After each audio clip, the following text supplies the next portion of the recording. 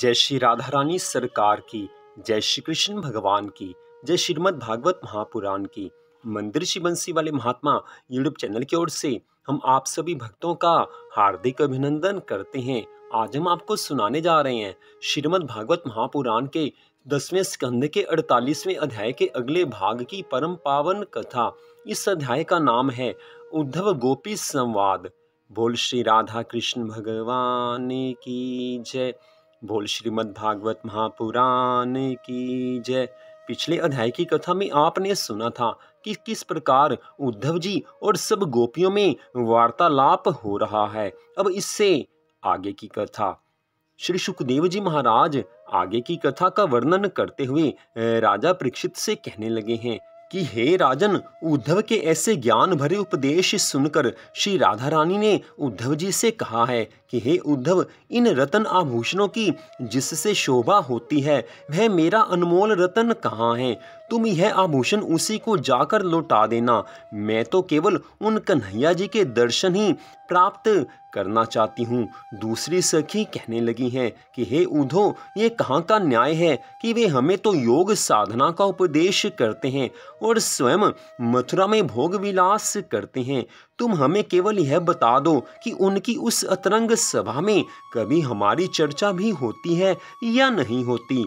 ये सुनकर एक अन्य सखी कहने लगी हैं कि हम लोग तो दिन रात उनके ध्यान में मगन रहती हैं तथा उनके ही गुणगान करती हैं और वे योग वैराग्य की पाती लिखकर हमारे हृदय की दबी दबाई अग्नि को और अधिक प्रज्वलित कर रहे हैं। हे उद्धव, जो सदैव गुण रूपी लीलाएँ दिखाते रहे, हम उन्हें निर्गुण किस प्रकार मान सकती हैं? वे अगम अगोचर कैसे हो गए? हमारे जिन प्राणों में प्राण प्यारे श्री कृष्ण जी बसे हुए हैं, वे तुम्हारी सीख क्या सुनेंगे? तब एक गोपी इस प्रकार कहने लगी है कि आली, ऊधो से कुछ कहने की क्या ज़रूरत है? इनकी बातें सुनकर चुप रह जाना ही ठीक है। एक अन्य सखी कहने लगी है कि, हे आली, अब तो कुबजा जैसा सिखा कर भेजती है।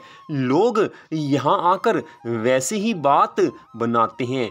जब तप, संयम तो वे रागियों के लिए है। हमारे लिए तो केवल एक ही नियम और एक ही व्रत है। कि हम सदैव ही श्री कृष्ण जी के चरण कमलों की सेवा करती रहें। हे उधो तुम्हारे इस योग को सुनकर हमारे हृदय में वियोग का दुख और अधिक बढ़ गया है। इसके पश्चात श्री राधा रानी सरकार उधो जी से कहने लगी हैं कि, हे उधो हमारे प्यारे श्री कृष्ण जी, हमको छोड़ चाहे जहाँ भी रहें, परंतु अपने हृदय में हम दीन अबलाओं के प्रति प्रेम बनाए रहें। हे उधो अपने उन श्याम सुंदर से जाकर कह देना कि राधा रानी ने एक विशेष संदेश तुम्हारे लिए भेजा है।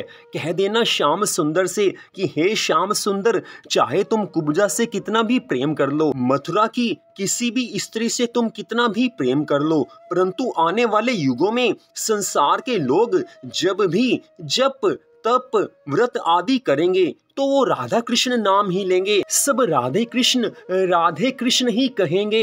हे उद्धव कह देना श्याम सुंदर से कि जब भी संसार के लोग कभी भगवान की भक्ति करेंगे, श्याम सुंदर की भक्ति करेंगे, सब राधा रानी का नाम लेंगे। सब राधा रानी के संग श्री कृष्ण का नाम लेंगे। कोई कुब्जा कृष्ण नहीं कहेगा, कोई भी कुब्जा कृष्ण नहीं कह सकता, क्योंकि श्री कृष्ण के संग सदा से राधा रानी रही हैं और सदा से राधा रानी रहती आई हैं और सदा ही राधा रानी रहेंगी। हे उधो ये श्याम सुंदर से बात अवश्य कह देना। कितनी सुंदर बात आज राधा रानी जी ने कह दी है उद्धव जी महाराज से कि आने वाले युगों युगों में जब भी भगवान की भक्ति की चर्चा चलेगी, उस समय कोई भी और कोई नाम श्री कृष्ण जी के साथ नहीं लेगा। केवल राधा कृष्ण ही कहा जाएगा। राधे कृष्ण राधे कृष्ण, इस नाम से संसार के लोग इस भवसागर से पार हो जाएँगे। श्री राधा रानी सरकार ने एक ऐसा अनमोल रतन इन वचनों में दिया है, इस प्रसंग में दिया है कि जो कोई इसको जीवन में अपना लेगा, उसका उद्धार हो जाएगा। राधे कृष्ण राधे कृष्ण, इस नाम को स्मरण करके, इस नाम को याद करके संसार के लोग भवसागर से पार हो सकते हैं।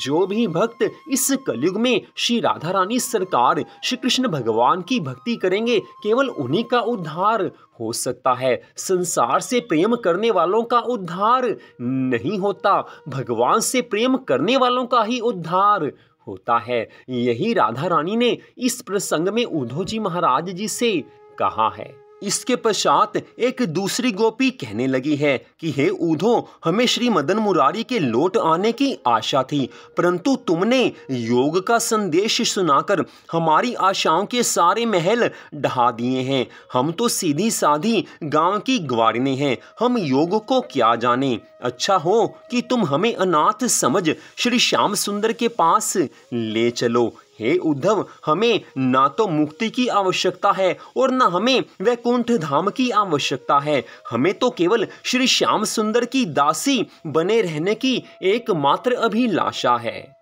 आज ब्रज की सभी गोपियों ने उद्धव जी महाराज जी से कह दिया है कि हमें तो श्री श्याम सुंदर से प्रेम है, हम उनके प्रेम की प्यासी हैं, हमें किसी मुक्ति वुक्ति की इच्छा नहीं है, हमें भगवान के धाम की भी आवश्यकता नहीं है, हम तो श्याम के चरणों की दासी हैं, हमें संसार की वस्तुओं से प्रेम नहीं हो सकता, हमें किसी योग वैराग्य की आवश्यकता नहीं है हमें तो श्री श्याम सुंदर के दर्शन मात्र की अभिलाषा है। अगर हे उधो तुम दर्शन करवा सकते हो तो सही बात है। अगर दर्शन नहीं करवा सकते उन श्याम सुंदर का तो ये योग वापिस ले जाओ। इस योग को, उन्हीं श्याम सुंदर को सुना देना, जिन्हें किसी से प्रेम नहीं हो सकता। हम तो उनके प्रेम की दीवानी हैं, लेकिन श्याम सुंदर ने हमसे प्रेम नहीं किया है। तभी तो ऐसा संदेश उन्होंने हमारे लिए भेज दिया है, जो कि हमारे जले हुए पर नमक छिड़क रहा है। इतनी कथा सुनाकर श्री सुखदेव जी महाराज कहने लगे हैं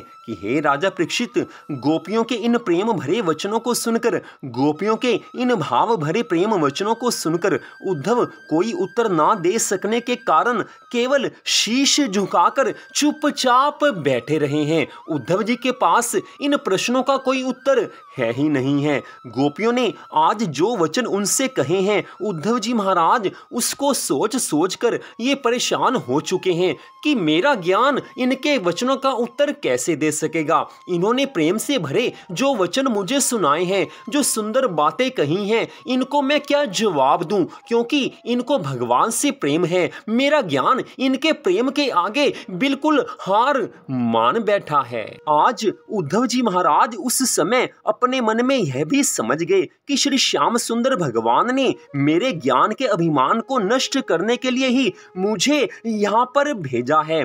कुछ देर बाद उद्धव पुनः गोपियों को ज्ञान सिखाने के लिए इस प्रकार कहने लगे हैं कि, हे गोपियों, जिस प्रकार जल पर खींची गई रेखा मिट जाती है, उस प्रकार संपूर्ण संसारी व्यवहार भी स्वप्न के समान मिथ्या है। तुम्हें उचित है कि तुम श्री हरि के चतुर्भुजी स्वरूप का ध्यान करो, जिससे तुम्हें श्री नारायण भगवान का दर्शन प्राप्त होगा।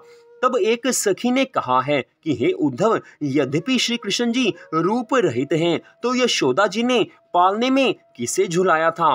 और उन्होंने हमारा गो रस चुराकर, दूध दही माखन चुराकर किसके मुँह में खाया था? अतः तुम्हारा ये मिथ्या ज्ञान हमारे किसी मतलब का नहीं है। हमें ज्ञान उपदेश करते हुए स्वयं तुम्हें कुछ विवेक नहीं है। तुम कहते हो कि श्री श्याम सुंदर अजर अमर अविनाशी हैं। सही बात है, तुम कहते हो कि वो निराकार है। तो हमें बताओ कि उन्होंने जो ब्रज की रज खाई है, वो ब्रज की माटी खाई है, वो उन्होंने किसके मुख में डाली थी? जो उन्होंने दूध दही माखन चुरा कर खाया है, अगर वो निराकार हैं तो उन्होंने किसके मुख में वो खाया था? इसलिए, हे उद्धव, तुम्हें कुछ विवेक ज्ञान नहीं है। एक अन्य सखी ने कहा है कि, हे उद्धव, हम तो अपने प्राण प्यारे के लिए व्याकुल हैं, और तुम प्रपंच की बातें करके हमारे जले पर नमक छिड़कते हो। श्री श्याम सुंदर तो हमें इस प्रकार छोड़ गए हैं, जैसे सांप अपनी कैंचुली को उतारता है। एक अन्य सखी कहने लगी है कि, हे उधो श्याम सुंदर प्यारे ने हमें दावानल तथा इंद्र के कोप से बचाकर यहाँ अनेक लीलाएँ दिखाई हैं। ऐसे श्री नारायण के अवतारी ने कुब्जा को अपनी रानी बनाया। ये सुनकर लज्जा से हमारा सिर नीचे झुक जाता है। क्या उन्हें चेरी का चेला कहलाने में लाज नहीं आती? तब एक अन्य गोपी ने कहा है कि, हे उद्धव, यदि श्री श्याम सुंदर को कुबड़ ही प्यारा हो तो हम लोग भी कुबड़ी बन मथुरा चली चले। हे उद्धव, वह दिन कब आएगा जब श्री मुरली मनोहर यहाँ आकर हमारा दुख दूर करेंगे। एक सखी ने कहा है कि, हे आली, मुझे तो अब उनके यहाँ लौट कर आने की आशा ही नहीं रही, क्योंकि वे वहाँ राज्य पा गए हैं। एक और गोपी कहने लगी है कि, हे उद्धव, जब श्री कृष्ण जी ने हमको त्याग दिया तो फिर उन्होंने अपना नाम गोपीनाथ क्यों रख छोड़ा है? हे उद्धव, तुम उनसे जाकर कह देना कि वे अब भी उस दासी को त्याग दें, क्योंकि हमसे ये छोटी बात सही नहीं जाती कि कुबड़ी उनकी पटरानी कहलाएँ। हे उद्धव, कुबजा से भी कह देना कि तू जिस पर मोहित हुई है, उसकी कठोरता का ये हाल है कि वह जिसकी कोख से उत्पन्न हुआ, उस माता तथा पिता को ही बंदी ग्रह में डलवा दिया। फिर हम गोपियों को दुख देकर दूर हो गया है। एक अन्य गोपी ने कहा कि हे उद्धव, वे जिस दिन से गए हैं, उसी दिन से हमारा खाना पीना हंसना बोलना सब छूट गया है। हम दिन रात उन्हीं के आने की राह देखती रहती हैं। यदि श्री मुरली मनोहर को ज्ञान ही सिखाना था तो हमें बंशी बजाकर हमें घर से क्यों बुलाया और रास लीला करके उन्होंने हमारा मन क्यों चुराया? एक अन्य गोपी कहने लगी है कि, हे उद्धव, शास्त्रों के अनुसार गुरु अपने शिष्य के कान में स्वयं मंत्र फूंकता है। यदि श्री मोहन प्यारे हमसे योग ही सदवाना चाहते हैं तो उन्हें चाहिए कि ब्रज की कुंजों में आकर हमें स्वयं ज्ञान का उपदेश करें। फिर एक अन्य सखी ने कहा है कि, हे उद्धव, भगवान को जाकर कह देना कि हम तो सदा उनकी याद में आँसू बहाया करती हैं। अब वो ज्ञान हमें क्या सिखाएँगे? हम तो उनके प्रेम में सदा मत वाली बनी रहती हैं। एक अन्य सखी कहने लगी है कि, हे उद्धव, जिस प्रकार ठग बटोही के साथ पहले तो प्रीति दिखाता है, फिर मौका लगाकर उसका धन छीन कर मार डालता है। उसी प्रकार श्री श्याम सुंदर ने पहले तो प्रीति दिखाकर हमारा तन मन धन सब छीन लिया। अब वैराग्य की छुरी मारकर हमारे प्राण लेते हैं। फिर एक अन्य गोपी इस प्रकार कहने लगी है कि, हे उद्धव, एक तो मनमोहन प्यारे पहले से ही निष्ठुर थे, फिर उन्हें तुम्हारे जैसे कठोर मित्र और मिल गए। जब वे ऐसा संदेशा नहीं भेजेंगे तो और क्या करेंगे? तुम तो हमसे ज्ञान वैराग्य की बातें करते हो, लेकिन हमको ऐसा कठोर योग साधने की आवश्यकता ही क्या है? जो तुम ये कहते हो कि सब जीवों में उन्हीं का प्रकाश रहता है, तब तो तुम भी कृष्ण हो ही गए। तुम भी कृष्ण के समान गोवर्धन पर्वत को अपनी उंगली पर उठाकर एक बार दिखा दो, फिर हम मान जाएँगे कि श्री कृष्ण सब में समाये हुए हैं। तुम भी अगर श्री कृष्ण हो तो तुम भी वही लीलाएँ करके हमें एक बार दिखा दो। हे उद्धव, हम इस बात को भली भांति जानती हैं कि उन जैसा कोई अन्य नहीं हो सकता। यदि तुमसे हो सके तो हमारे चित्त चोर को यहाँ ले आओ। हमारा हृदय तो उन्हीं की सांवली, मनमोहनी मूर्ति के बस में है। तुम्हारे इस ज्ञान वैराग्य के लिए उसमें कोई स्थान नहीं है। तुम बस चिट्ठी को जहाँ से लाए हो, वहीं वापस ले जाओ। ये सब योग वैराग्य वे अपनी कुबजा रानी को सिखाएँ, जिस प्रकार अंधे मनुष्य को शीशा देखने से कोई लाभ नहीं होता। उसी प्रकार हमें भी योग सिखाने से कोई लाभ नहीं हो सकता। दूसरी गोपी कहने लगी है कि, हे उद्धव, पहले तुम ब्रज बालाओं की दशा देखो, फिर उन्हें अपना ज्ञान सिखाना। डूबता हुआ मनुष्य पानी के फ़ैन को पकड़कर नहीं बच सकता। उसी प्रकार तुम्हारे ज्ञान के उपदेश से हमें कोई मार्ग नहीं मिलेगा। एक अन्य गोपी कहने लगी है कि, हे उद्धव, तुम जिस योग की गठरी को अपने सिर पर रखकर इतनी दूर चलकर आए हो, उस ज्ञान की गठरी को काशी जी में ले जाओ। वहाँ के लोगों को मुक्ति पाने की बड़ी अभिलाषा रहती है। हे उद्धव, मन तो एक ही है। वह हमारा मन श्री मुरली मनोहर के साथ चला गया है। अब हम योग साधना के लिए दूसरा हृदय कहाँ से लेकर आए?